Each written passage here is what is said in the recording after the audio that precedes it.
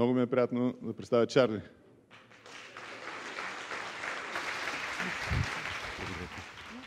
Добър ден. Както вече ме презентираха, да, аз съм Чавдар Гочев, Чарли. Така изглежда на сцената. Аз съм фрилансър или както се казва на български музикант на свободна практика. Още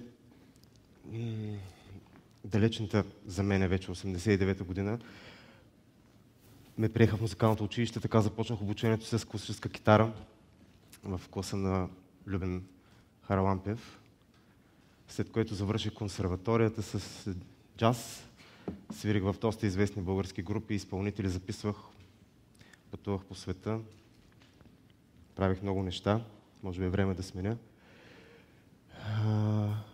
Тези всички неща ме обогатиха и ме направиха човек, който след всички тези години, освен свирене, имаше и носене и много други проблеми съпътстващи музиката и избора да направя това, което съм в момента. Човек, който организира събития и се опитва да направи нещо за Варна, нещо да направи за локалната сцена. избора ми да стана музикант е всъщност продиктуван от моите родители. Те решиха да ме направят такъв, но аз това като че ли го приех съвсем естествено през всичките години.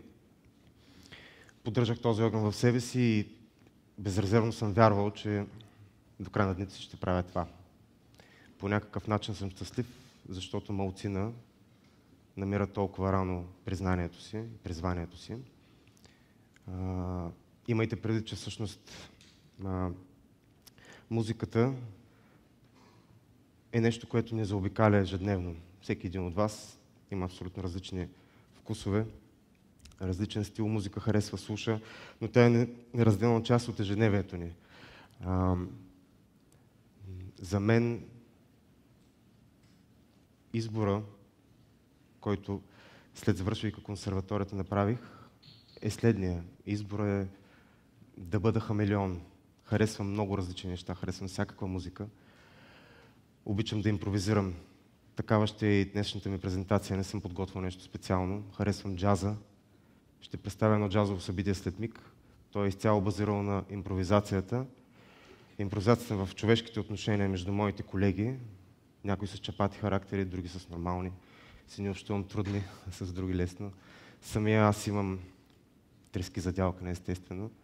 Но се опитвам да бъда оптимист. И съм оптимист. вярвам в доброто, Вярвам в това, че в България, локално говоря, е много важно извън столицата София нещата да се случват. Да се случват в другите по-малки градове. Да, Варна не е най-малкият град в България, за което съм щастлив, защото тук има публика за това, което искам да ви представя. То е MGM. MGM е едно събитие, което инициирах естествено с всички мои приятели и колеги. Едни основни 20 стълба в а, а, моето музикално обкръжение. Съжалявам, че не са кадрирани правилно нещата, за да се вижда цялата информация. Това събитие даде възможност на група музиканти да изявят себе си и да направим едно общество, което извън столицата извън големите столици на европейски държави и световни, където джаза е ежедневие, където нивото на джаза е високо, поради ред причини, економически, логистични, държавите са богати, да, има изключително много дотация от малките деца в музикалните училища до тези, които завършват колежи. А, тук нещата започват по съвсем друг начин тук са поставени на една клубна сцена. Тази клубна сцена дава шанс а, на тези музиканти да се опознаят, да започнат да работят, да свирят, да се срещнат един с друг, да избират нови джазови стандарти, да започнат да композират, да се чувстват у дома си. Този клуб Ментол, на който аз искам много да благодаря на неговите управители, собственици, които ни дадаха този шанс да направим мини регулярни 10 събития тази зима, всеки втори понеделник. в които ние се опознахме. Ние станахме повече. Появиха се музиканти, които са от Варна, учат навън. Някои са професионалисти, други не. Естествено, дами и господа, тези музиканти, които виждате, са стълбовете на събитието MGM или Monday Jam, тъй като това е всеки понеделник. Тези хора, повечето от тях с образование и вярват в доброто, вярват в това, че импровизацията и джаза е един път, един начин, по който ние комуникираме. Всичко е комуникация. По-голямата част от филмите за ТЕД всъщност говорят на тази тема. Как хората сме едно общество, което трябва да си помагаме, да си подадем ръка. Джаза, дами и господа, е точно едно от това. Гост от Нью Йорк, изключителен певец, Дин Болман, работил с Джон Скофилд, известен джазов китарист, който е работил пък на своя ред с Майлз Дейвис. Това даде шанс много хора да повярват в себе си от тези мои колеги. Бяхме пет на първото. На второто събитие станахме 10, след това 15, заведението се напълни, започнаха да се появяват много хора, които дали харесват джаза или не, не знам, но им харесваше атмосферата. Нещо се случва, има шум. За съжаление, по-голямата част от ежедневието ни, музиката около нас е шум от колите. Всеки е надолу. Може би чалга, някой хип-хоп, някой е пуснал битбокс, на любим свой изпълнител. Мал, малцина са тези, които слушат джаз. Но джаза не е важното. Джаза не е музика, която е покълнала тук в, нашите, в нашия регион. Ние си имаме нашия фолклор. Искам да отворя една скоба. Музикалната диаспора, професионална в България, е практически най-голямата професионална диаспора в България.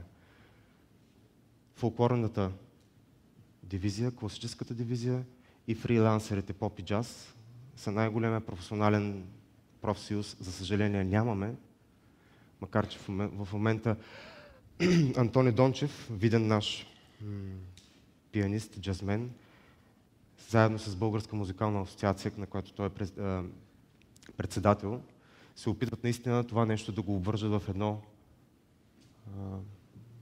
единно, официално, държавно представителство. Естествено, този MGM, този Monday Jam е една малка брънка от това, но всички тези музиканти, които ме заболя просто да натискам, за да се въртят, а, са едно бъдеще. Едно бъдеще културата във Варна да е на едно, съжалявам за изтърканото клише, на едно европейско ниво. Джаза има много лица, както един виден наш изпълнител Кавалджия Теодоси Спасов доказа в световен мащаб, фолклора ни може да бъде съчетан добре с джаза. И като цяло джазовата музика е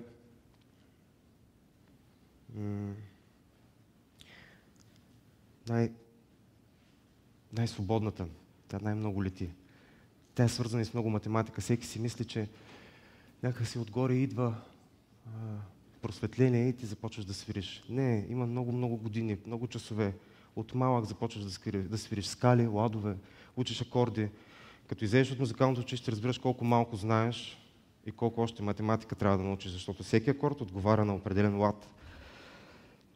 И ако цифровката на акорда се смени, то се сменя и лада. Има много вариации. А, разбрах следното нещо, че нещата не са черно-бели. Общо взето, така изглеждаха нещата в клуба, всичко беше в добро настроение. А, успяхме да докажем един на друг, че има смисъл от това да си тук, да си локален музикант, да развиваш местната сцена и нещата ще се случат. Аз ви казах, оптимист съм по това. Много важно нещо и съществена част е, че всъщност ето този кадър приобщи към нас общество от художници, скетчери, който лидер беше Димитър Трайчев, който днес по-рано тук е имал лекция. Той помогна много да доведе в клуба художници, млади и на неговите години, които сътвориха, ето тук виждате този кадър, всъщност искам да направя още една скоба. Този дизайн е благодарение на Мила Петкова, дизайнера, който изцяло се грижи за Манда и Джем. Естествено, екипа, който ми помага е по-голям. Няма смисъл да казвам всички имена. Но тя направи много, за да изглеждаме така стилно. А това са вече нещата, които художниците нарисуваха, докато ние импровизирахме. Те също импровизираха. А, това е една много малка част от нещата, които те направиха в зимния ментол. И това ме радва, защото се оказа, че това се търси. Те вече продават, те вече а, имат самочувствие, че нещо смислено около тях се случва. Тъй като по-голямата част от тях са на вашата възраст, на една част от вас, 20 годишни младежи и за тях това беше предизвикателство. След като минаха тези девет събития в зимния ментол,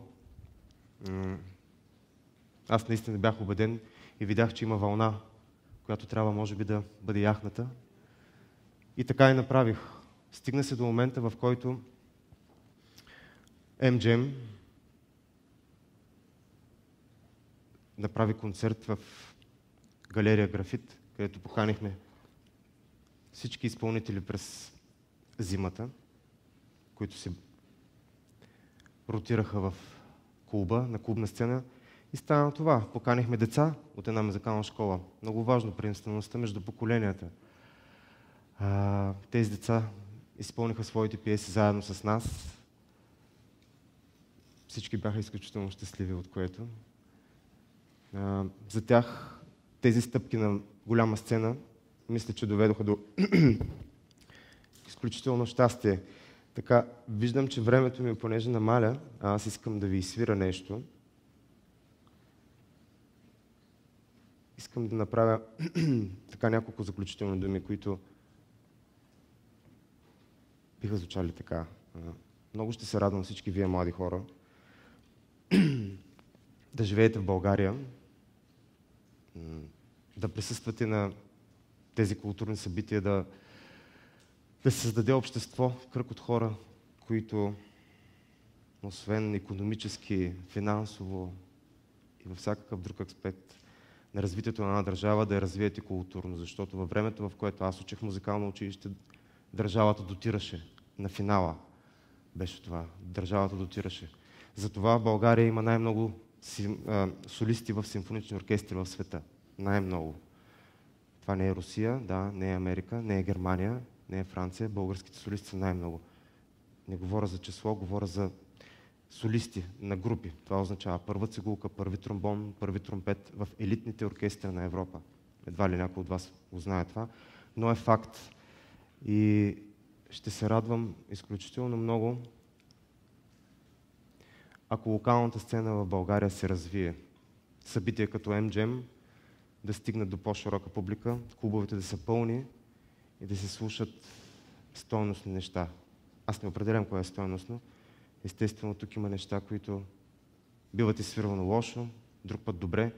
Джаза е такъв, в който според настроението и деня имаш различен ден. А сега искам да изсвира нещо.